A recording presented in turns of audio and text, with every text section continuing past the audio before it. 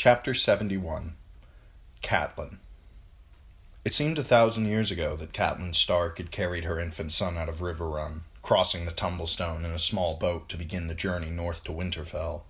And it was across the Tumblestone that they came home now, though the boy wore plate and mail in place of swaddling clothes. Robb sat in the bow with Grey Wind, his hand resting on the dire wolf's head as the rowers pulled at their oars. Theon Greyjoy was with him. Her uncle Brynden would come behind in the second boat, with the Greatjon and Lord Karstark. Catelyn took a place toward the stern. They shot down the tumblestone, letting the strong current push them past the looming wheel tower. The splash and rumble of the great water wheel within was a sound from her girlhood that brought a sad smile to Catelyn's face. From the sandstone walls of the castle, soldiers and servants shouted down her name, and Robb's, and Winterfell! From every rampart, wa- from every rampart waved the banner of House Tully, a leaping trout, silver against a rippling blue and red field. It was a stirring sight, yet it did not lift her heart. She wondered if indeed her heart would ever lift again. Oh, Ned. Below the wheel tower, they made a wide turn and knifed through the churning water. The men put their backs into it. The wide arch of the water gate came into view, and she heard the creak of heavy chains as the great iron portcullis was winched upward. It rose slowly as they approached, and Catelyn saw that the lower half of it was red with rust. The bottom foot dripped brown mud on them as they passed underneath, the barbed spikes mere inches above their heads. Catelyn gazed up at the bars and wondered how deep the rust went, and how well the portcullis would stand up to ram, and whether it ought to be replaced. Thoughts like that were seldom far from her mind these days. They passed beneath the arch and under the walls, moving from sunlight to shadow and back into sunlight. Boats large and small were tied up all around them, secured to iron rings set in the stone. Her father's guards waited on the water stair with her brother. Sir Edmure Tully was a stocky young man with a shaggy head of auburn hair and a fiery beard. His breastplate was scratched and dented from battle, his blue and red cloak stained by blood and smoke. At his side stood Lord Tytos Blackwood, a hard pike of a man with close cropped salt and pepper whiskers and a hooked nose. His bright yellow armor was inlaid with jet and elaborate vine and leaf patterns, and a cloak sewn from raven feathers draped from his thin shoulders. It had been Lord Tytos who led the sortie that plucked her brother from the Lannister camp. Bring them in, Sir Edmure commanded. Three men scrambled down the stairs knee deep in the water and pulled the boat close with long hooks. When Greywind bounded out, one of them dropped his pole and lurched back, stumbling and sitting down abruptly in the river. The others laughed, and the man got a sheepish look on his face. Theon Greyjoy vaulted over the side of the boat and lifted Catelyn by the waist, setting her on a dry step above him as water lapped around his boots. Edmure came down the steps to embrace her. Sweet sister, he murmured hoarsely. He had deep blue eyes and a mouth made for smiles, but he was not smiling now. He looked worn and tired, battered by battle and haggard from strain. His neck was bandaged where he had taken a wound. Catelyn hugged him fiercely. Your grief is mine, Cat, he said when they broke apart. When we heard about Lord Eddard, the Lannisters will pay. I swear it. You will have your vengeance. Will that bring Ned back to me? she said sharply. The wound was still too fresh for softer words. She could not think about Ned now. She would not. It would not do. She had to be strong. All that will keep. I must see father. He awaits you in his solar, Edmure said. Lord Hoster is bedridden, my lady, her father's steward explained. When had that good man grown so old and gray? He instructed me to bring you to him at once. I'll take her.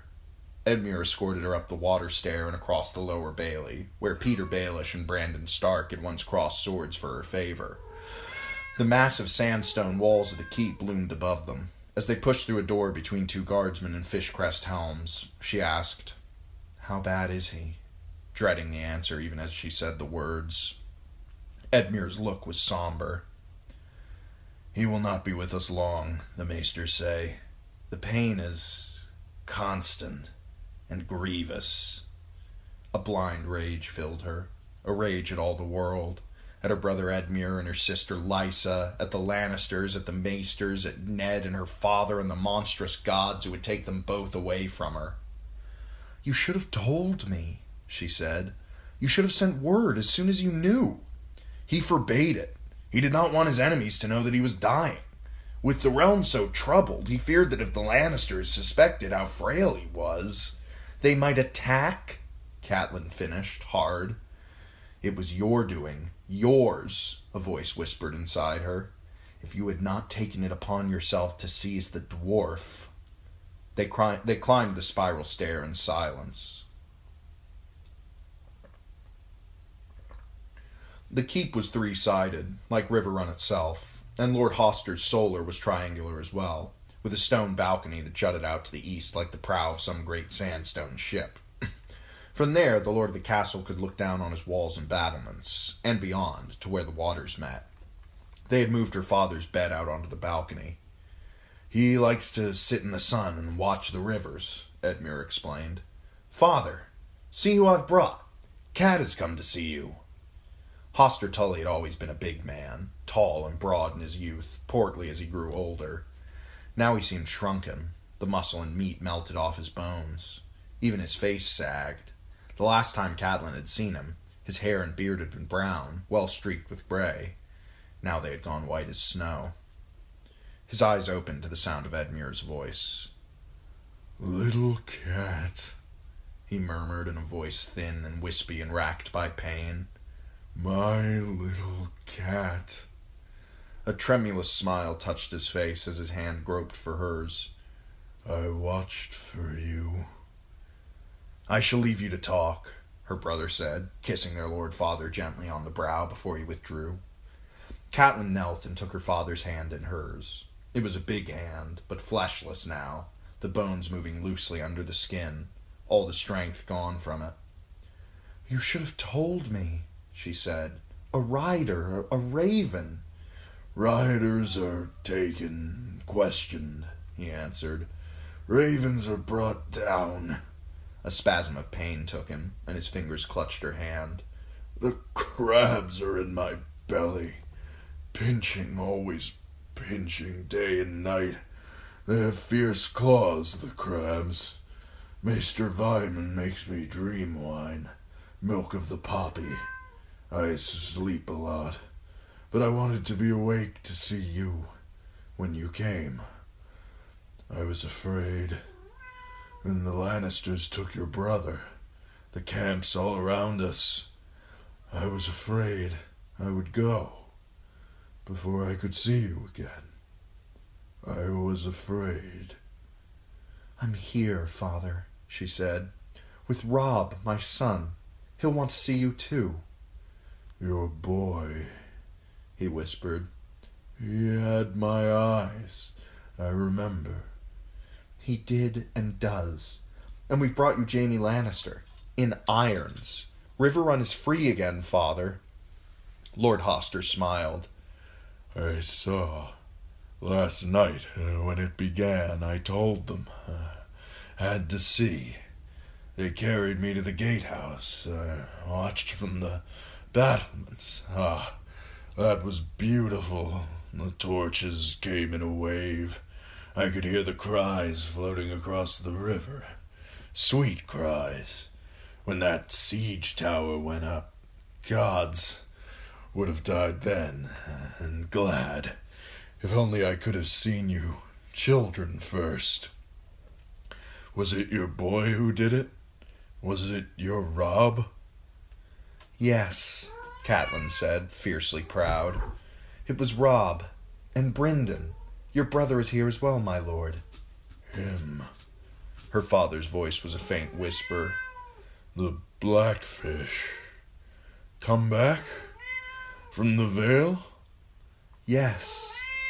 And Lysa? A cool wind moved through his thin white hair. Godspeed good. Your sister. Did she come as well? He sounded so full of hope and yearning that it was hard to tell the truth.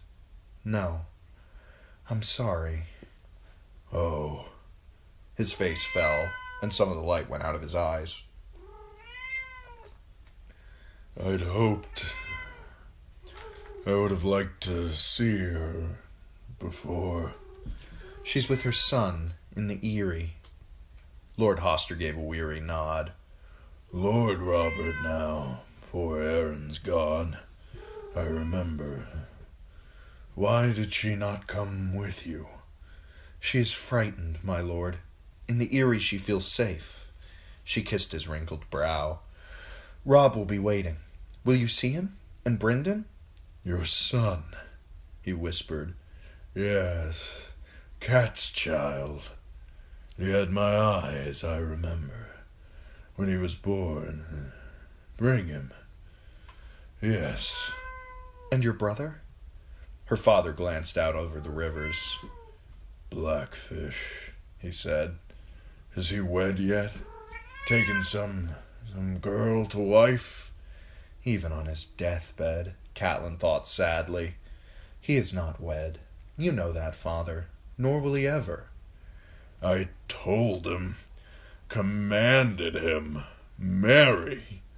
I was his lord, he knows. My right to make his match. A good match. A Redwyne, old house, sweet girl, pretty. Freckles. Bethany, yes. Poor child, still waiting. Yes, still. Bethany Redwyne wed Lord Rowan years ago, Catelyn reminded him. She has three children by him. Even so, Lord Hoster muttered. Even so. Spit on the girl, the Redwyne, spit on me, his lord, his brother. That blackfish. I had other offers. Lord Bracken's girl, Walder Frey, any of these. He said, Has he wed? Anyone? Anyone? No one, Catelyn said. Yet he has come many leagues to see you, fighting his way back to Riverrun. I would not be here now if Sir Brynden had not helped us. He was ever a warrior, her father husked. That he could do. Knight of the Gate, yes.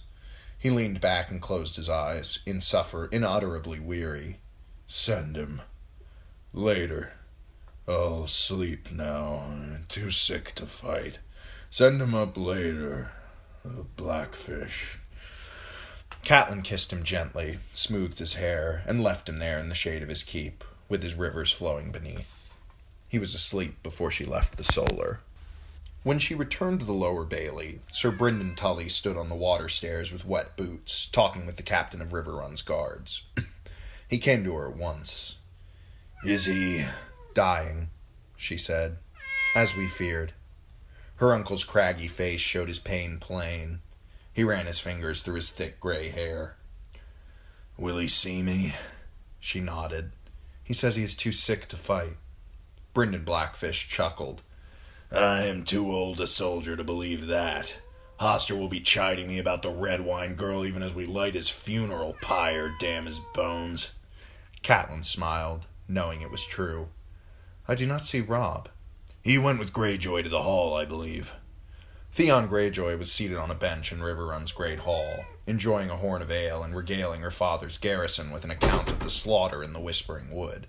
Some tried to flee, but we pinched the valley shut at both ends, and we rode out of the darkness with sword and lance. The Lannisters must have thought the others themselves were on them when that wolf of Robb's got in among them. I saw him tear one man's arm from his shoulder, and their horses went mad at the scent of him. I couldn't tell you how many men were thrown. Theon, she interrupted, where might I find my son?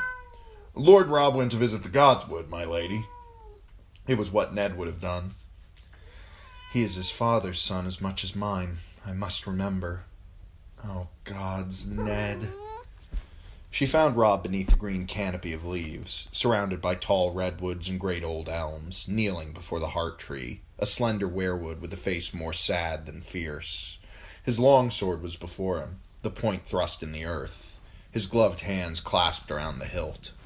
Around him others knelt, Greatjon Umber, Rickard Karstark, Maege Mormont, Galbart Glover, and more. Even Tytos Blackwood was among them, the great raven cloak fanned out behind him.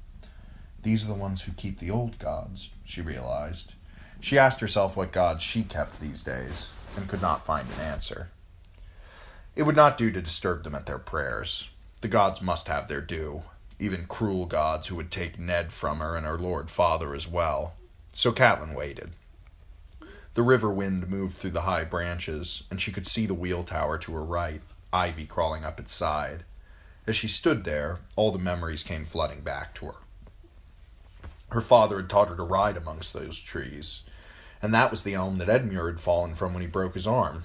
And over there, beneath that bower, she and Lysa had played at kissing with Petyr.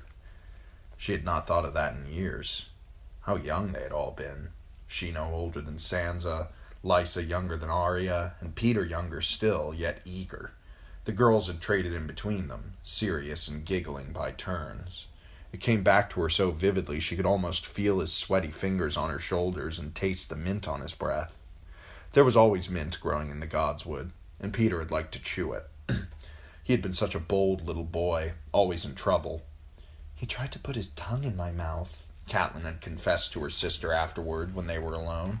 He did with me too, Lysa had whispered, shy and breathless. I liked it. Robb got to his feet slowly and sheathed his sword, and Catelyn found herself wondering whether her son had ever kissed a girl in the Godswood. Surely he must have. She had seen Jeyne Poole giving him moist eyed glances, and some of the serving girls, even ones as old as eighteen. He had ridden in battle and killed men with a sword. Surely he had been kissed. There were tears in her eyes. She wiped them away angrily. Mother, Robb said when he saw her standing there, we must call a council. There are things to be decided. Your grandfather would like to see you, she said. Robb, he's very sick. Sir Edmure told me. I'm sorry, mother. For Lord Hoster and for you. Yet first we must meet. We've had word from the south. Renly Baratheon has claimed his brother's crown. Renly? she said, shocked. I had thought. Surely it would be Lord Stannis. So did we all, my lady, Galbart Glover said. The War Council convened in the great hall, at four long trestle tables arranged in a broken square. Lord Hoster was too weak to attend, asleep on his balcony, dreaming of the sun on the rivers of his youth. Edmure sat in the high seat of the Tullys, with Brynden Blackfish at his side, and his father's bannermen arrayed to, to right and left, and along the side tables. Word of the victory at Riverrun had spread to the fugitive lords of the Trident, drawing them back. Karyl Vance came in, a lord now, his father dead beneath the golden tooth. Sir Marq Piper was with him, and they brought a Darry, Sir Raymun's son, a lad no older than Bran. Lord Jonas Bracken arrived from the ruins of Stone Hedge, glowering and blustering, and took a seat as far from Tytos Blackwood as the tables would permit. The northern lords sat opposite, with Catelyn and Robb facing her brother across the tables. They were fewer. The Greatjon sat at Robb's left hand, and then Theon Greyjoy. Galbart Glover and Lady Mormont were to the right of Catelyn. Lord Rickard Karstark, gaunt and hollow-eyed in his grief, took his seat like a man in a nightmare, his long beard uncombed and unwashed. He had left two sons dead in the Whispering Wood, and there was no word of the third, his eldest, who had led the Karstark spears against Tywin Lannister on the Green Fork. The arguing raged on late into the night. Each lord had a right to speak, and speak they did, and shout, and curse, and reason, and cajole, and jest, and bargain, and slam tankards on the table, and threaten, and walk out, and return sullen or smiling. Catelyn sat and listened to it all. Roose Bolton had reformed the battered remnants of their other host at the mouth of the causeway. Sir Helman Tallhart and Walder Frey still held the twins. Lord Tywin's army had crossed the Trident and was making for Harrenhal, and there were two kings in the realm. Two kings and no agreement. Many of the Lord's bannermen wanted to march on Harrenhal at once, to meet Lord Tywin and end Lannister power for all time. Young, hot tempered Marq Piper urged to strike west at Casterly Rock instead. Still others counseled patience.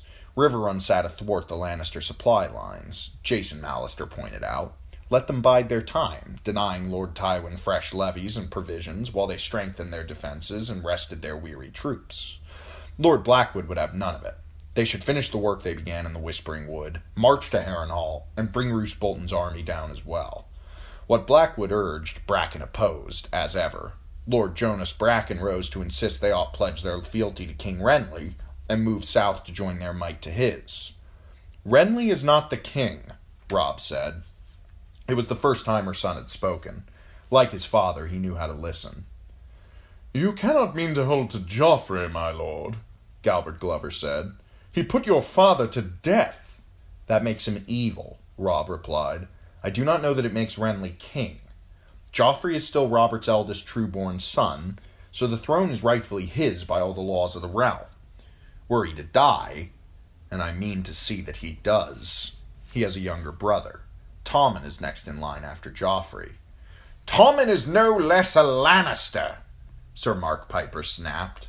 As you say, said Robb, troubled. Yet if neither one is king, still, how could it be Lord Renly? He's Robert's younger brother. Bran can't be Lord Winterfell before me, and Renly can't be king before Lord Stannis. Lady Mormont agreed. Lord Stannis has the better claim. Renly is crowned, said Marq Piper. Highgarden and Storm's End support his claim, and the Dornishmen will not be laggardly. If Winterfell and Riverrun add their strength to his, he will have five of the seven great houses behind him. Six if the Arryns bestir themselves. Six against the Rock. My lords, within the year we will have all their heads on pikes. The Queen and the Boy King, Lord Tywin, the Imp, the Kingslayer, Sir Kevan, all of them. And that is what we shall win if we join with King Renly. What does Lord Stannis have against that that we should cast it all aside? The right, said Robb stubbornly. Catelyn thought he sounded eerily like his father as he said it. So you mean us to declare for Stannis? asked Edmure. I don't know, said Robb. I prayed to know what to do, but the gods did not answer. The Lannisters killed my father for a traitor, and we know that was a lie. But if Joffrey is the lawful king and we fight against him, we will be traitors. My lord father would urge caution, Age, Sir Stevron said, with the weaselly smile of a Frey. Wait. Let these two kings play their Game of Thrones. When they are done fighting, we can bend our knees to the victor or oppose him as we choose. With Renly arming, likely Lord Tywin would welcome a truce and the safe return of his son. Noble lords, allow me to go to him at Harrenhal and arrange good terms and ransoms. A roar of outrage drowned out his voice. Craven! the Greatjon thundered. Begging for a truce will make us seem weak, declared Lady Mormont. Ransoms be damned, we must not give up the Kingslayer, shouted Rick- Rickard Karstark. Why not a peace? Catelyn asked. The lords looked at her but it was Robb's eyes she felt, his and his alone. My lady, they murdered my lord father, your husband, he said grimly. He unsheathed his long sword and laid it on the table before him, the bright steel on the rough wood. This is the only peace I have for Lannisters. The Greatjon bellowed his approval, and other men added their voices, shouting and drawing swords and pounding their fists on the table. Catelyn waited until they had quieted. My lords, she said then. Lord Eddard was your liege, but I shared his bed and bore his children. Do you think I love him any less than you? Her voice almost broke with her grief, but Catelyn took a long breath and steadied herself. Robb, if that sword could bring him back, I would never let you sheathe it until Ned stood at my side once more. But he is gone, and a hundred whispering woods will not change that. Ned is gone and Daryn Hornwood, and Lord Karstark's valiant sons, and many other good men besides, and none of them will return to us. Must we have more deaths still? You are a woman, my lady, the Greatjon mumbled in his deep voice. Women do not understand these things. You are the gentle sex, said Lord Karstark, with the lines of grief fresh on his face. A man has a need for vengeance. Give me Cersei Lannister, Lord Karstark, and you would see how gentle a woman can be, Catelyn replied. Perhaps I do not understand tactics and strategy, but I understand futility. We went to war when Lannister armies were ravaging the Riverlands, and Ned was a prisoner, falsely accused of treason. We fought to defend ourselves and to win my lord's freedom. Well, the one is done, and the other forever beyond our reach. I will mourn for Ned until the end of my days, but I must think of the living. I want my daughters back, and the Queen holds them still. If I must trade our four Lannisters for their two Starks, I will call that a bargain and thank the gods. I want you safe, Robb, ruling at Winterfell from your father's seat. I want you to live your life, to kiss a girl and wed a woman and father a son. I want to write an end to this. I want to go home, my lords, and weep for my husband. The hall was very quiet when Catelyn finished speaking. Peace, said her uncle Brynden. Peace is sweet, my lady. But on what terms? It is no good hammering your sword into a plowshare if you must forge it again on the morrow. What did Torrhen and my Eddard die for if I am to return to Karhold with nothing but their bones? asked Rickard Karstark. Aye, said Lord Bracken. Gregor Clegane laid waste to my fields, slaughtered my small folk, and left Stone Hedge a smoking ruin. Am I now to bend the knee to the ones who sent him? What have we fought for if we are to put it all back as it was before? Lord Blackwood agreed, to Catelyn's surprise and dismay. And if we do make peace with King Joffrey, are we not the traitors to King Renly? What if the stag should prevail against the lion? Where would that leave us? Whatever you may decide for yourselves, I shall never call a Lannister my king, declared Marq Piper. Nor I, yelled the little Darry boy. I never will. Again the shouting began. Catelyn sat despairing. She had come so close, she thought. They had almost listened. Almost. But the moment was gone. There would be no peace, no chance to heal, no safety. She looked at her son, watched him as he listened to the Lord's debate, frowning, troubled, yet wedded to his war. He had pledged himself to marry a daughter of Walder Frey, but she saw his true bride plain before her now, the sword he had laid on the table. Catelyn was thinking of her girls, wondering if she would ever see them again, when the Greatjon lurched to his feet. My lords! he shouted, his voice booming off the rafters.